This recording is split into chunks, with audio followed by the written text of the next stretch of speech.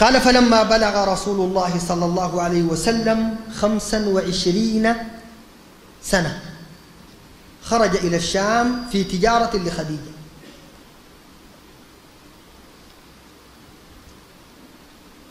أبو طالب قلنا اتكلم معه مع النبي عليه الصلاة والسلام. وراه ما به من الحال. وقال له إن خديجة من أغنياء مكة. خديجة بنت خويلد ابن أسد وهي من شرفاء مكة ومرأة غنية. قال له بتبعث الرجال من قومها فيتجرون لها. قال إن علمت بما فيك من الأمانة. والصدق قال له قدمتك على قومها. قال له بتقدمك أنت. فأرى أن تعرض نفسك عليها. قال له امشي اعرض نفسك عليها. النبي عليه الصلاة والسلام قال له يعني لعلها ترسل إلي في ذلك. ما دار يمشي ليه؟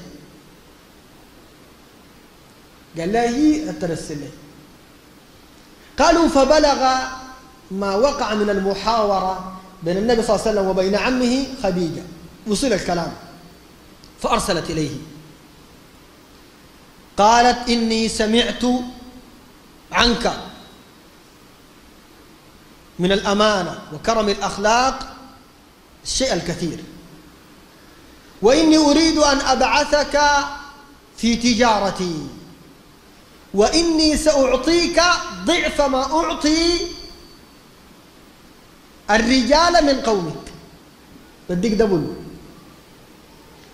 وده يا إخواننا بدل على فهم العالم بالتجارة ذاته. زول دي عندها فهم عجيب.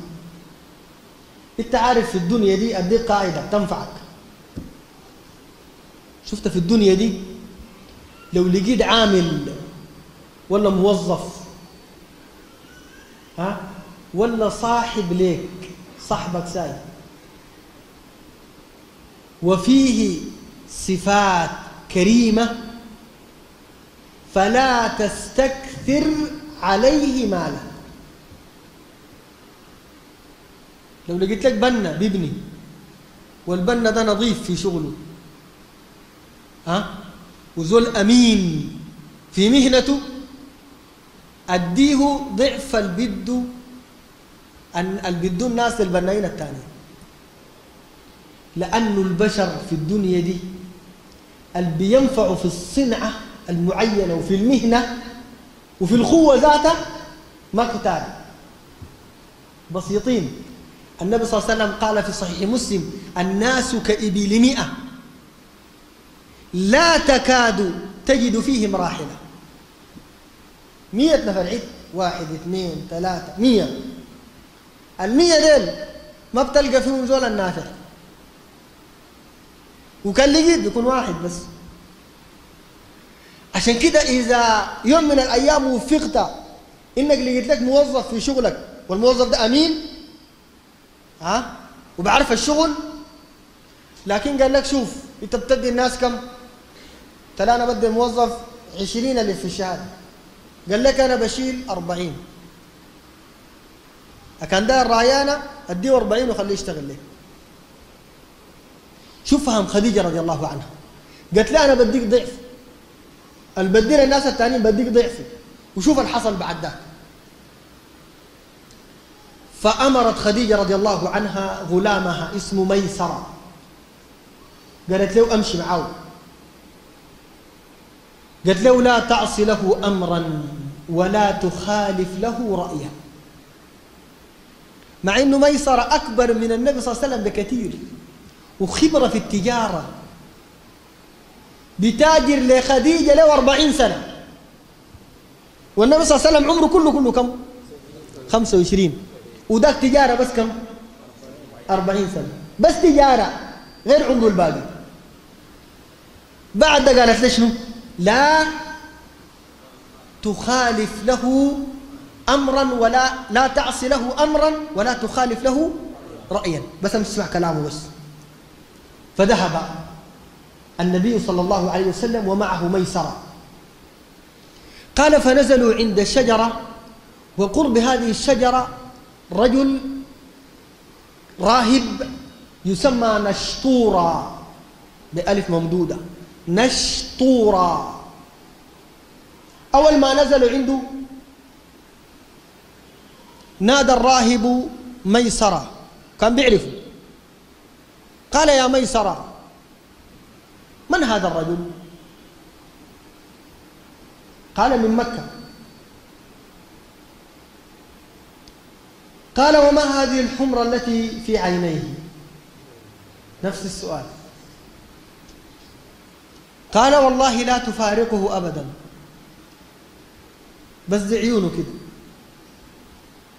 قال إنه لم ينزل تحت ظل هذه الشجرة إلا نبي. الشجرة دي قال لا ما قعد تحتها إلا نبي. وبعض أهل السير قالوا ما نزل تحت هذه الشجرة بعد عيسى بن مريم إلا النبي عليه الصلاة والسلام. قالوا وشجرة الزيتون تعمر أكثر من ثلاثة آلاف سنة. تقعد كثير. آه. فقال نشتورا لميسرة هذا نبي هذه الأمة. وليتني أشهد يوم يؤذن له بالخروج. قال قال أهل السير فوعى ميسر تلك الكلمات. حفظها كويس. ثم انطلق. قال لما دخلنا سوق بصرى في الشام وقد اختلفنا قال اختلف النبي صلى الله عليه وسلم مع أحد التجار. فقال له التاجر احلف باللات والعزى. فقال له النبي صلى الله عليه وسلم والله ما حلفت بهما قط. قال له التاجر إذن القول قولك. ثم انفرد التاجر بميسرة. ساقوا على جنبه. قال له يا ميسرة هذا نبي هذه الأمة. وإن قومنا من اليهود يعرفونه بصفته في التوراة. صفات العند دي دي يا الصفات بتاعتنا في التوراة قاعدة عندنا. كويس؟ ما يصير الكلام ده وقع لك كويس. قال فلما قضينا تجارتنا ربحنا ربحا ما ربحناه قط. قال وقد تاجرت لخديجة أربعين سنة. ما ربحت مثل هذا الربح. ما ربح زي فانطلقوا راجعين. رجعوا خلاص. أول ما رجعوا قال حتى إذا كنا بمر الزهران. منطقة اسمها مر الزهران قريبة من مكة. وخديجة رضي الله عنها كانت في مجموعة من نساء قريش. فيهم امرأة اسمها نفيسة بنت منية نفيسة بنت منية بعد شوي حيجينا نفيسة دي. عندها موضوع ثاني كمان. طيب. فلما قربوا قال ميسر للنبي عليه الصلاة والسلام هل لك أن تسبقني إلى خديجة؟ فتخبرها الخبر. وريها أنه نحن ربحنا ربح كبير. قال له فلعلها تزيدك إلى بكرتك بكرتين. بتزيدك. أديها الخبر. فانطلق النبي صلى الله عليه وسلم على جمل أحمر ودخل عليها في المجلس. قبل ما يحصلها وهو في الطريق قالت خديجة للنسوة اللي معاه. يقول كلهم بعاينه. انظرنا إلى محمد. قالت فإذا ملكان يضلانه وهو على بعيره. في ملكين عاملين له ظل وهو ماشي. لما وصلوا وأخبرهم الخبر قالت له خديجة دار تستيقن الموضوع ده إنه الكلام ده احتمال خيال ساي شافوه أو كده أو يتراءى لهم قالت له ارجع فأدرك ميسرة أرجع تاني. حصل ميسرة وتعال معاه هي دايرة شنو؟ آه. دايرة تشوف تاني. يهو الموضوع كده ولا ما يهو؟ أول ما قفل راجعا فإذا الملكين يظلان خدتوا المظلة فوق طوالي. فقا فأرت خديجة رضي الله عنها نساء قريش. قالت لهم شوفوا. فرجع. فوقر ذلك في نفس خديجة رضي الله عنها.